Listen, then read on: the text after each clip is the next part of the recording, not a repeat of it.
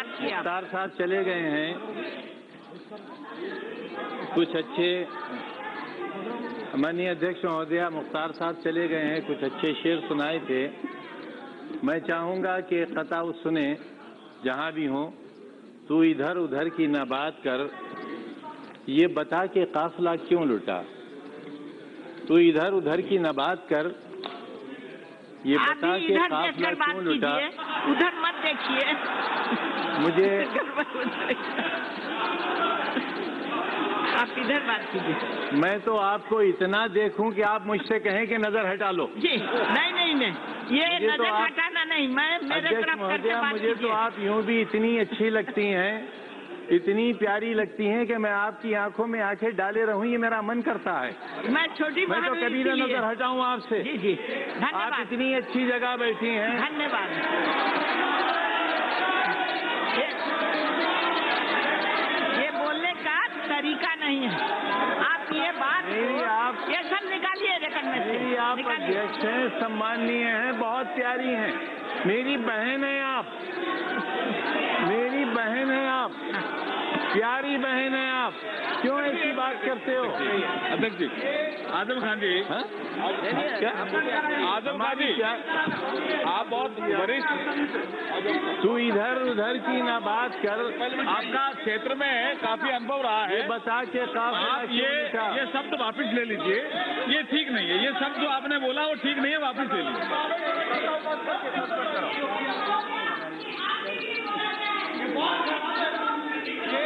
ये रिकॉर्ड से निकलवा दिए। मंत्री जी को बोला दीजिए। सभापति जी। सभा मंत्री जी को। पीठ पर बैठे हुए हैं आप। कृपया सुनिए। माननीय सांसद महोदय को सुना है। उनका उस हाउस का इस हाउस का लंबा अनुभव है। विधानसभा उत्तर प्रदेश का भी अनुभव है। वहाँ वो वज़ीर भी रहे हैं। सदर को चेयर को कैसे एड्रेस करते हैं उनको अच्छी समझदारी है। और जो जो शब्दों का प्रयोग किया है उन्होंने ठीक नहीं है एक तो महिलाओं के खिलाफ और आपके खिलाफ। वो जो मैं उस शब्द का प्रयोग उनको माफ़ी मांगनी चाहिए। सिर्फ़ रिकॉर्ड नहीं काम करेगा हिम्मत से apologize। आप माफ़ी मांगिए apologize। उनको माफ़ी मांगना चाहिए जवाब दीजिए आप माफ़ी मांगिए जिस चीज़ जिस चीज़ को अध्यक्ष महोदया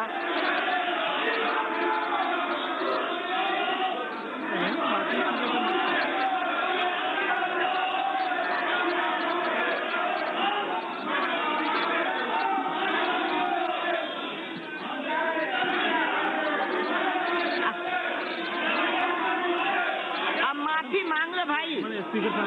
हाँ। अपनी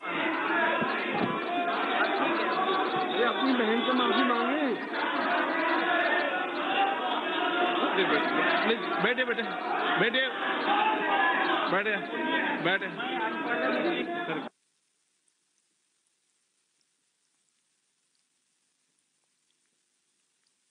अन्य सदस्यगण, मैं आपसे आग्रह कर रहा हूँ। आप वरिष्ठ सदस्य हैं। नो, गलत। नहीं, गलत है, जो भाषा गलत है टोका है। गलत है। नो ये भाषा मत बोलिए प्लीज़ नहीं नो ये सदन है। कोई भी मान्य सदस्य के प्रति इस तरीके की बात कहने का आपको कोई अधिकार नहीं। मान्य सदस्य, आप बैठिए। बैठिए। मान्य सदस्यगण चेयर की गरिमा बनाना आपका काम सदन में मर्यादित बोलना भी सभी मान्य सदस्य कहते हैं। हर विषय को मर्यादित कहते हुए आप अपनी बात कहें। आपको स्वतंत्रता का अधिकार है, लेकिन मेरा आपसे आग्रह है, कोई भी ऐसी चीज़ मैं खुद देखूँगा स्वयं रूप से, और उसमें कोई भी आपत्तिजनक होगी तो मैं सबको हटाऊँगा। मान्य सदस्य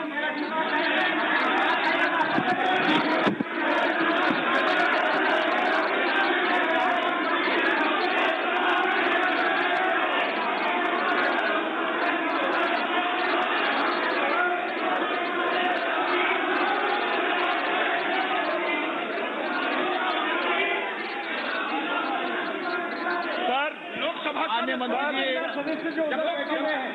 मान- माननीय सदस्य प्लीज़ बैठिए। सर मुझे मुझे मुझे और बाकी लोगों को इस सदन उस सदन का अनुभव है। आज तक पिछले 19 साल के इतिहास में किसी सदस्य ने चेयर के खिलाफ वो भी एक महिला हमारी जो सदस्य प्रिजाइड कर रही हैं ऐसे शब्दों का प्रयोग नहीं किया है। सर उनको माफ़ी मांगना चाहिए मिनिमम। ये मैं आपसे अपील करूँगा।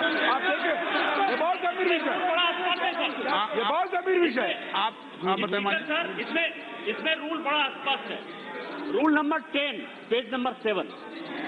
ये साफ़ कहता है sir the deputy speaker or any other member competent to preside over a sitting of the house under the constitution or these rules shall when so presiding have the same powers as the speaker when so presiding and all references to the speaker in these rules shall in these circumstances be deemed to be reference to any such person so presiding इसीलिए मान्य सदस्य मान्य से please जी। मान्य सदस्य इसमें किसको आपत्ति है जब सभापति सभापति बैठते हैं, उसको पूरा चेयर पे एज ए स्पीकर का पूरा अधिकार होता है, पूरा अधिकार होता है। मान्य सदस्य, मैं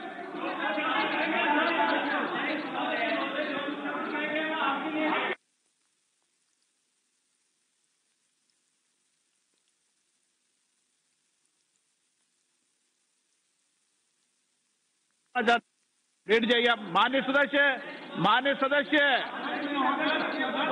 हाँ मान्य से प्लीज़ बैठिए। मान्य सदस्य प्लीज़ मान्य सदस्य माननीय मंत्री जी बैठ जाइए। बैठ जाइए माननीय मंत्री जी।